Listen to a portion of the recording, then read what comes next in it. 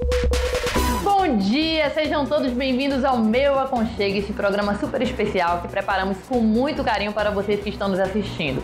E hoje nós estamos aqui em uma loja específica de acessórios de decoração e com um tema super especial que é a Páscoa. E neste momento é um momento de reflexão, mas também de confraternização, de reunir a família ao redor da mesa. E por este motivo estamos aqui para te ensinar como preparar uma mesa posta com muita delicadeza, muito capricho, muito carinho em um momento especial como este. Roda a vinheta, diretor.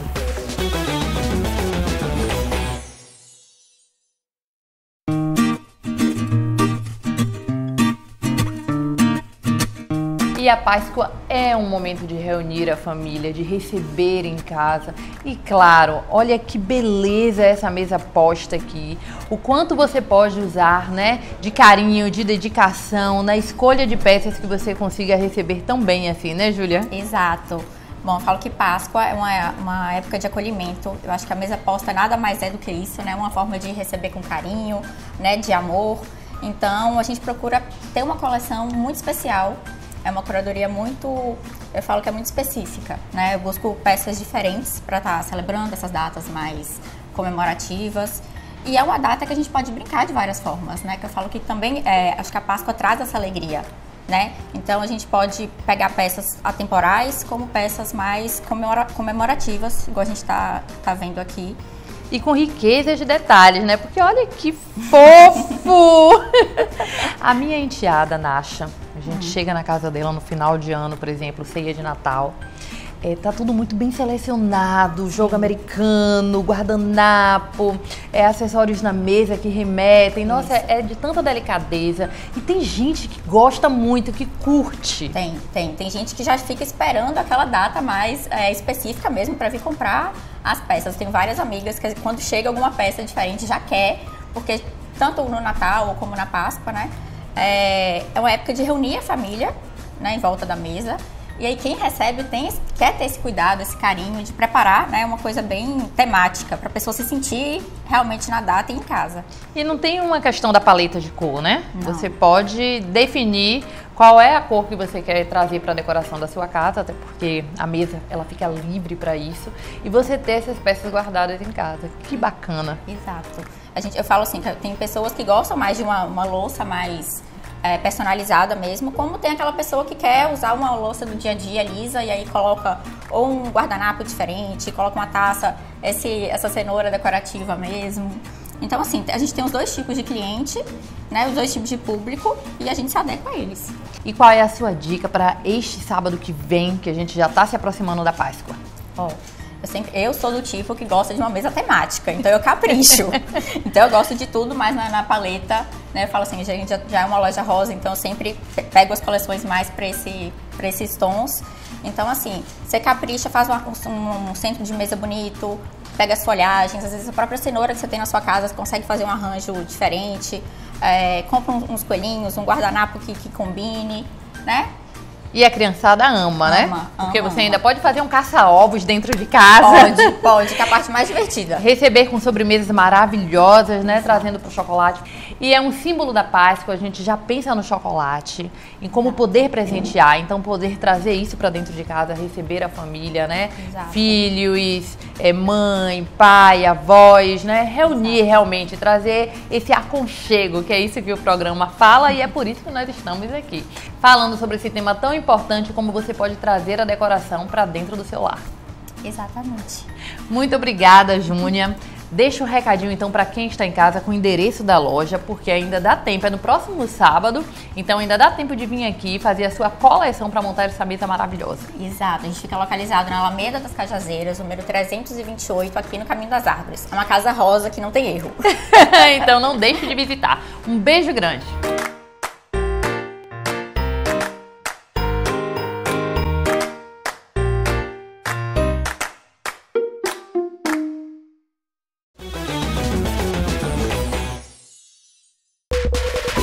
Meu aconchego. Oferecimento Empório Magma. Alcance sua personalidade num piscar de olhos. Algum já, há mais de 35 anos construindo sonhos. Casa Nandos, a casa que cuida de sua casa e de você também.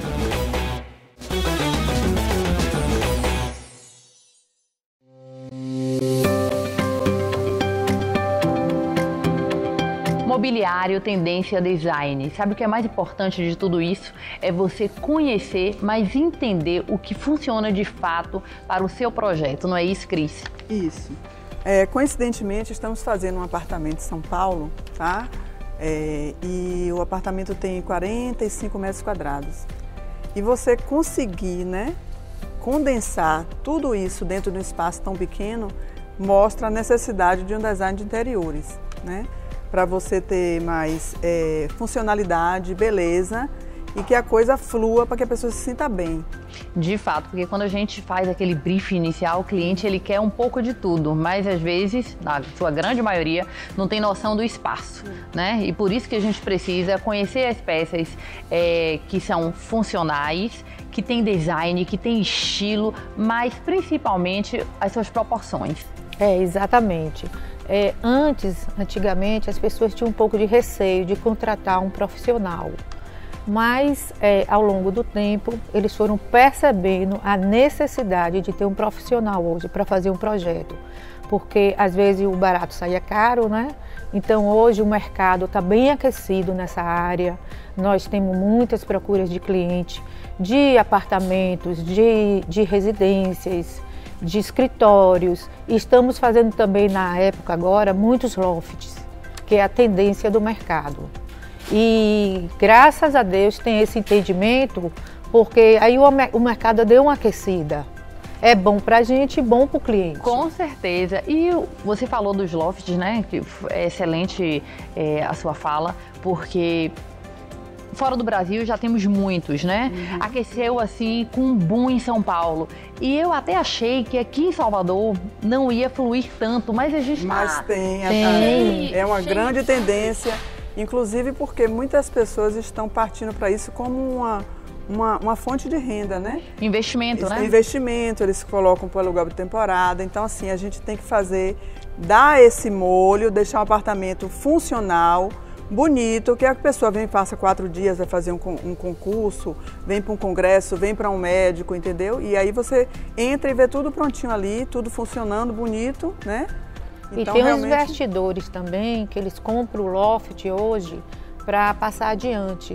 Então nós estamos pegando também bastante lofts para investidores e aí nós colocamos todas as necessidades é, para o, o, o, o, morador, né, o cliente de hospedagem ou morador e depois logo eles conseguem vender com um preço bom e com o, o apartamento todo mobiliado e que encanta, né, a, o comprador. De fato, ou seja, o investimento não é só em você comprar o imóvel, né, para poder passar adiante, como você falou, ou é, alugar também, né, mas no, na decoração em si, porque é a decoração que torna o imóvel atrativo, é, principalmente em, em, espaços pequenos, né? É, entregamos agora um Beach Place, tá? É, o cliente nos contratou um ano antes, é um cliente antigo. E aí ele disse assim, olha meninas, eu quero o apartamento, a chave na mão, com tudo pronto. Entregamos esse apartamento uma semana antes do carnaval, a filha dele passou o carnaval lá. Uma semana depois ele conseguiu vender, digamos que ele 80% acima do valor que ele comprou três anos atrás. Olha pra É. Ai, a gente ficou tão feliz. Porque, Isso é uma satisfação, né, né para o cliente, né? Porque aí ele quer comprar outros, quer arrumar todo, quer decorar. E aí esse mercado está bem, realmente bem aquecido, tanto para o morador como para o investidor. Só uma atenção para vocês que estão nos assistindo, o Beach Clays é um empreendimento da construtora Moura do B, aqui na, no bairro de Ondina, onde é, a maioria dos seus, dos seus imóveis é de quarto e sala. Então tem uma proporção pequena, 40 metros quadrados, 44 mais ou menos Isso, metros quadrados, exatamente. e que precisa ter uma funcionalidade muito boa do espaço para que esse investimento, de fato, né, uhum. ele possa acontecer.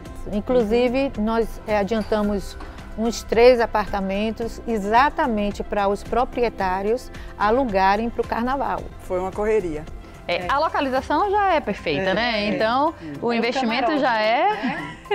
Eu, particularmente, gosto muito de fazer apartamentos pequenos. Gosta? É. um desafio, né? É um desafio, exatamente. Acho que a gente se sente realizada e pode entregar um, um projeto diferente do outro. exatamente. Isso. E quando o cliente consegue fazer essa venda bem, né, o investidor consegue ter uma renda, uma rentabilidade boa com o projeto que nós fazemos, para a gente é uma satisfação, né? Que ele fica feliz com o resultado. O empreendimento pequeno, né, uhum. o apartamento, o imóvel pequeno, ele já tem realmente esse grande desafio. Mas é, os apartamentos, quando grandes demais, a gente fica também naquele estudo do layout para não se perder, para que não fique disperso. Então, às ai... vezes a pessoa acha que o maior é mais fácil, mas não é, né? Por causa do espaço e, e você tem que saber o que, que vai colocar em cada espaço, o que, que o, o cliente quer, escolher hoje os produtos, é, os tecidos. E então, é, para a gente é um pouquinho desafiador pegar uma, um, um, ambiente muito grande. Fizemos é, o ano passado um apartamento no Mansão Baiana de Tênis. E a gente sentiu isso, né? Um apartamento de 300 metros quadrados e o cliente é um jovem é, médico, solteiro, então ele queria assim uma adega, um ambiente meio nova-iorquino, com uma pitada de Bahia.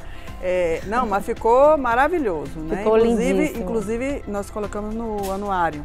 Tá? No anuário de decoração da Bahia. De decoração e foi escolhido como um dos cinco é, projetos né, premiados, premiados e a gente ficou no outdoor aqui um mês e tal, então é realmente é outra proposta, né? É. Porque uma obra dessa você pode levar até um ano. Um, mas... um, um, um, apartamento pequeno, um estúdio, você faz em três meses. É verdade, mas sabe por que ficou maravilhoso? Primeiro, porque vocês são profissionais maravilhosos. Ah, e porque é importante sempre estar acompanhado de um arquiteto ou designer de interiores. Com porque certeza. isso vai facilitar a sua vida imensamente, você não tem noção. É por este motivo que o meu aconchego ele está aqui sempre trocando figurinhas, batendo papo, trazendo dicas de decoração para vocês que estão em casa e falando tudo sobre arquitetura. Muito obrigada, meninas, obrigada por estarem aqui. Prazer foi nosso. Foi ótimo. Obrigada. Muito obrigada a vocês que estão aí em casa curtindo o programa. Fica ligadinho que no próximo bloco temos muito mais.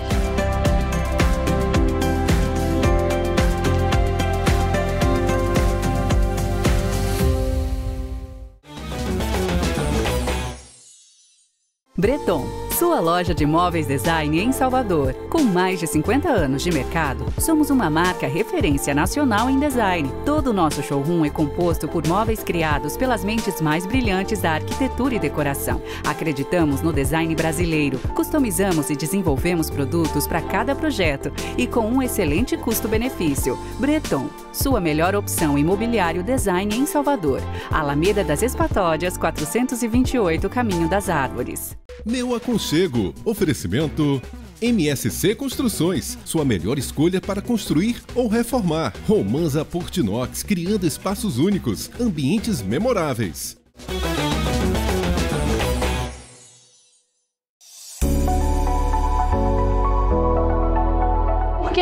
Mais em nossos projetos com louças e metais de design arrojado? O leque é diverso, as possibilidades são inúmeras de deixar o nosso projeto ainda mais elaborado e personalizado, não é isso, meninas? Então, a gente tem usado muito no nosso projeto a linha Slim, né? Além de ter uma elegância no aspecto dela, ela possibilita que a gente tenha diversos tipos, né? Ela pode ser de sobrepor, semi-encaixe ou também de apoio.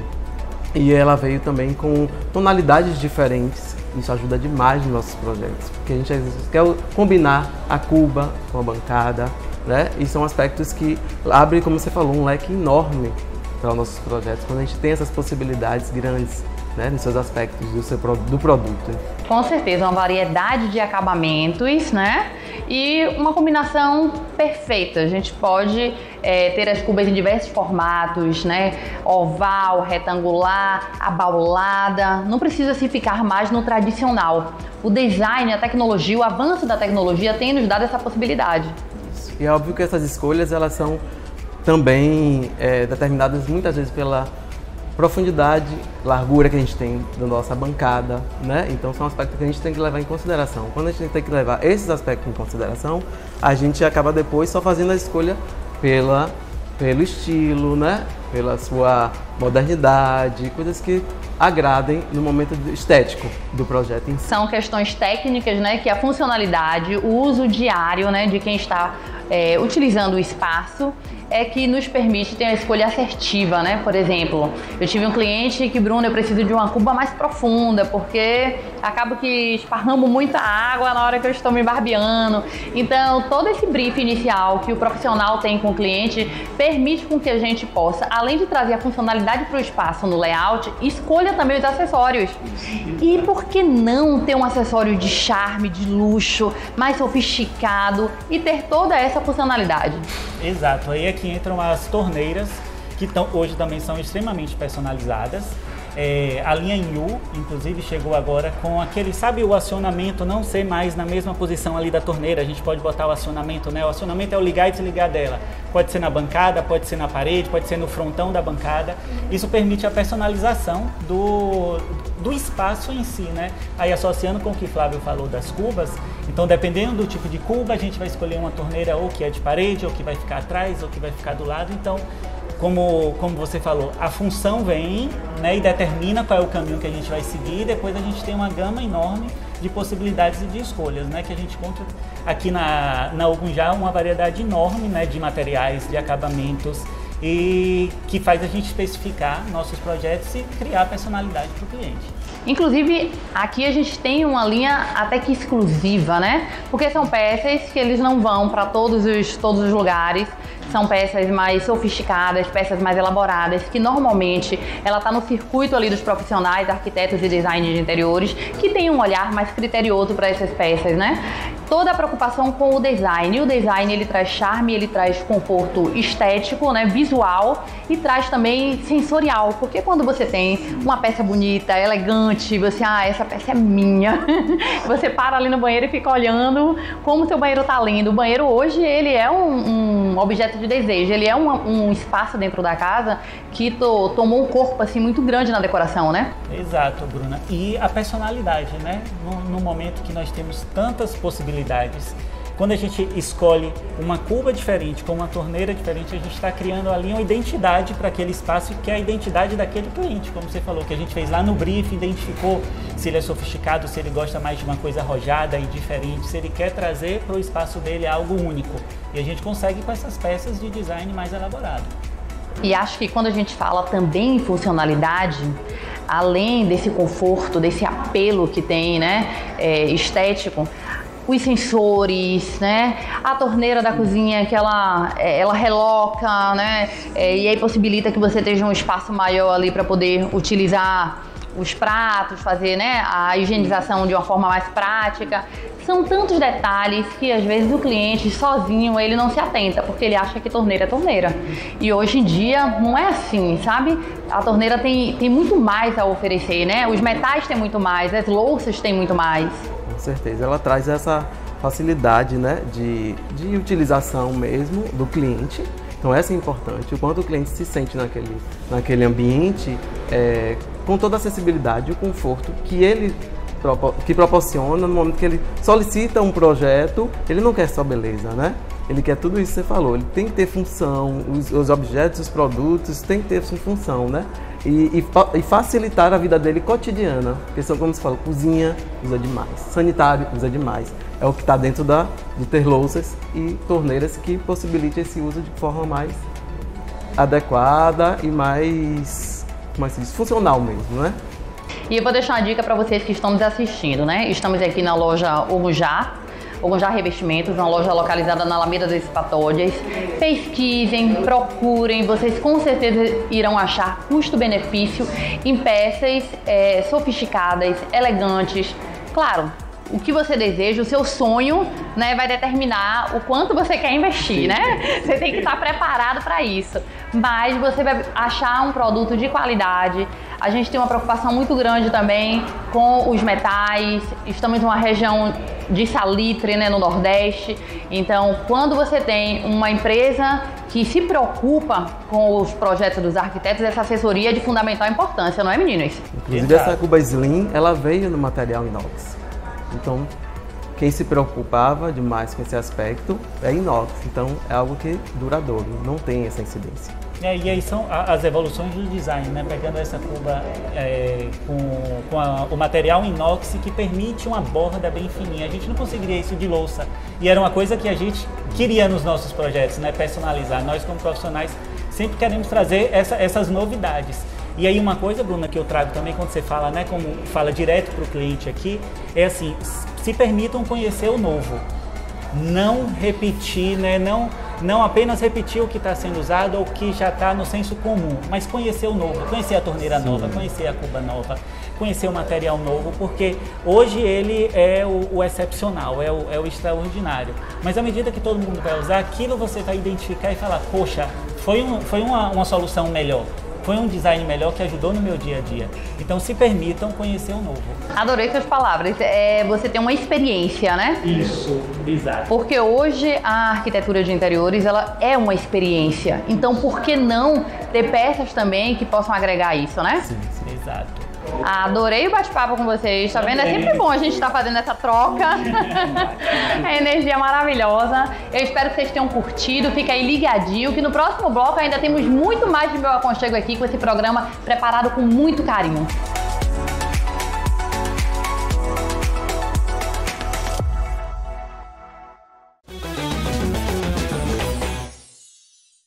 Aqui na Ogunjá você encontra as melhores marcas e opções de revestimentos, louças, metais e eletros. Com atendimento personalizado e toda a segurança necessária, você pode escolher peças exclusivas para o seu ambiente e deixar o seu projeto ainda melhor. Na hora de construir e reformar, dê um toque de sofisticação e qualidade com os produtos que você encontra aqui. Ogunjá, há mais de 35 anos construindo sonhos. Alameda das Espatódias, Caminho das Árvores. Meu Aconchego. Oferecimento Breton, sua melhor opção em imobiliário design em Salvador.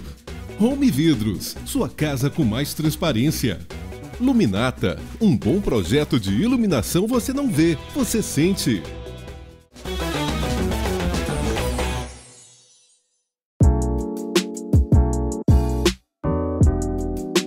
Eu sei que você que curte muito este programa adora quando a gente está aqui falando de obra, porque reformar, construir é sempre uma logística tão grande, uma demanda que qualquer dica ajuda, não é isso, Murilo? Isso, Bruno, estamos aqui mais uma vez passando dicas para vocês que estão tá em casa, querem construir, reformar e até para você que tem curiosidade. Esse aqui tra trata-se de um apartamento quarto-sala, que com um projeto muito moderno e funcional, nossa querida Bruna Obrigada. Oliveira é, transformamos em três quartos e um garden, como você pode ver aqui, elegantíssimo, funcional, né? Aqui temos um, uma persiana automática climatizada que vira um novo quarto. Exatamente. E quem vê pronto assim não sabe a dificuldade e a logística que a empresa de engenharia tem que ter para poder executar. Exatamente. A gente já teve um, uma dificuldade muito grande com relação a ter um quarto e sala, claro que 80 metros quadrados, mas com paredes é, totalmente inclinadas porque o prédio ele tem um formato de é, uma curvatura. E isso é, deixou com que a obra fosse um pouco mais complexa, não é isso, Murilo? Isso, Bruna, perfeito. Na verdade, as paredes aqui não têm esquadro. Então, para a gente arranjar a melhor posição de esquadro das paredes, dificultou também na infraestrutura, que as vigas são inclinadas, então passava a viga no meio do, da sala onde a gente não imaginou. Então a gente saiu de, um ar de dois ar-condicionados para quatro. Né? A gente climatizou a sala e todos os quartos, fora aqui fora, né? fora o ambiente externo. Então a, maior dificuldade daqui foi a infraestrutura, tanto externa com drenagem. Então aqui era tudo grama, aqui fora. E a gente adicionou uma banheira, que foi assim um ponto chave tanto de de beleza para o ambiente quanto dificuldade para a empresa. Então, a gente que é de engenharia, a gente adora desafios. Né? E o principal desafio desse, desse apartamento foi o escoamento da água. O que fizemos aqui? Fizemos algumas caixas de passagem para diminuir o volume da água e encontramos o escoamento do prédio. Então parece ser simples, mas tudo tem que ser estudado por empresa, programado, junto com o prédio, junto com o síndico, porque tudo tem normas, né? Temos que seguir para não ter problemas futuros. E trazer o que o cliente deseja ter de conforto, né? a maior possibilidade possível. Nem tudo a gente consegue fazer, mas a maioria é, das solicitações a gente consegue sim. Claro que, como o Murilo falou, tendo estudo, planejando, trabalhando nessa parceria, porque é muito bom, né? Trabalhar com a empresa de construção, com o engenheiro traz segurança, traz conforto, traz custo-benefício, porque às vezes você pensa que vai gastar menos e você vai gastar mais, porque a gente tem projetos técnicos, tem toda a parte estrutural, tudo que demanda, né? Essa parte técnica e que a gente tem que apresentar ao condomínio, para a gente poder trazer toda essa parte estética aqui com qualidade, conforto e obedecer nas normas. Murilo, é, fora administrar os demais fornecedores, né? Porque estamos em um apartamento aqui que temos quase 200 metros quadrados, porque temos 80 metros quadrados interno e temos um garden aqui que transformamos nessa área gourmet com mais de 100 metros quadrados e é, muito personalizado. Portanto, tivemos diversos fornecedores. Essa administração de casar, né, a empresa de vidro, na hora de fazer a instalação, juntamente com a equipe de obra, tudo isso é uma logística que demanda toda a cautela, né? Sim, Bruna, com certeza. Foi um ponto muito importante essa logística de administração dos, vamos chamar de terceiros parceiros, né? Parceiro de armário, de esquadria, de ar-condicionado, de montagem. Então, tudo isso a empresa de engenharia tem que pegar para si a administração, né? coordenar os prazos, quando entra, quando chega material, quando chega material que vai subir. Aqui tivemos uma grande dificuldade, tivemos que içar, né? içamos a banheira, içamos alguns perfis, içamos todo o madeiramento aqui porque não sobe de escada.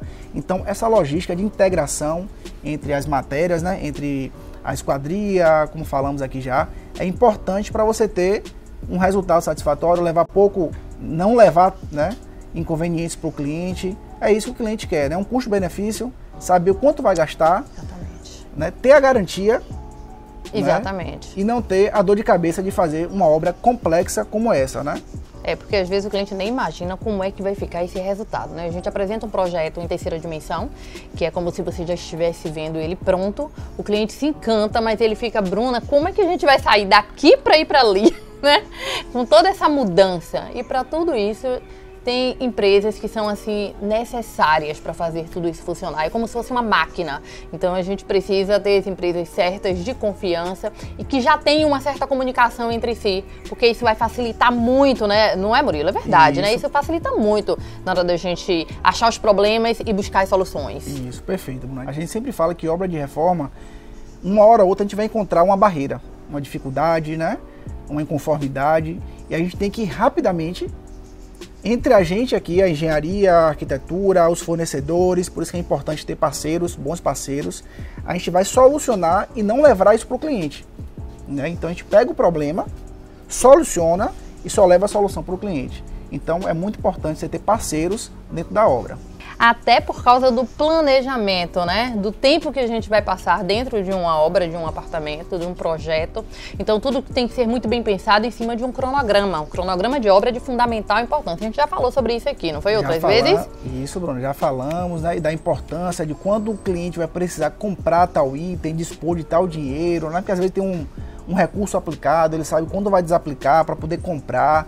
Então isso é importante para a organização financeira do cliente. Vamos voltar outra hora aqui no meu contigo para a gente falar sobre isso, sobre cronograma. Pronto, Eu acho que é legal, as pessoas que estão em casa, elas querem entender né, melhor como é que funciona. Como já tem tempo que a gente falou, vamos voltar para poder relembrar. Vamos sim, Bruno. Assim é importante né, saber o tempo de uma obra dessa e quanto o cliente precisa desembolsar.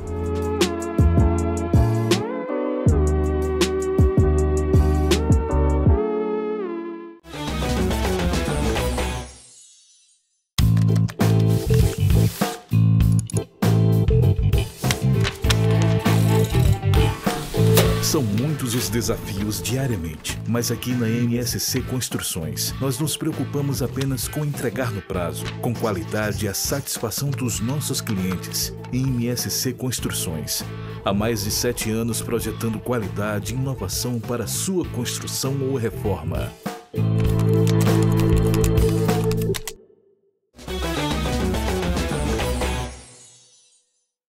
Gostaram do programa de hoje? Meu Aconchego fica por aqui, mas claro, nos acompanha no nosso canal do YouTube, programa Meu Aconchego. Você de toda a Bahia, Sergipe, de todo o Brasil, que está curtindo aqui o programa juntinho conosco e mandando mensagens que nos incentivam a cada dia. Um beijo grande, excelente final de semana, eu te aguardo aqui no próximo sábado. Deus te abençoe.